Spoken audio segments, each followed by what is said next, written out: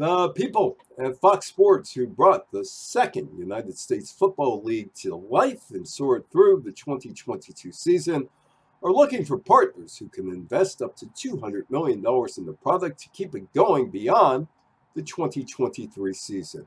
The USFL had the spring football season to itself in 2022, but there will be a competitor in 2023 as a third version of the XFL plans to hit the field. The XFL has a deal with the Walt Disney Company to show games on ESPN, but not much else is known about the league with less than eight months to go before the product hits the market. It's a football league. That is all. The USFL used two stadiums in Birmingham, Alabama for its games, and its playoff games were held in Canton, Ohio. But the league plans to add a market or two or three next year. The cost of producing a weekly football show and the USFL is a little more than the TV show is relatively cheap in Birmingham.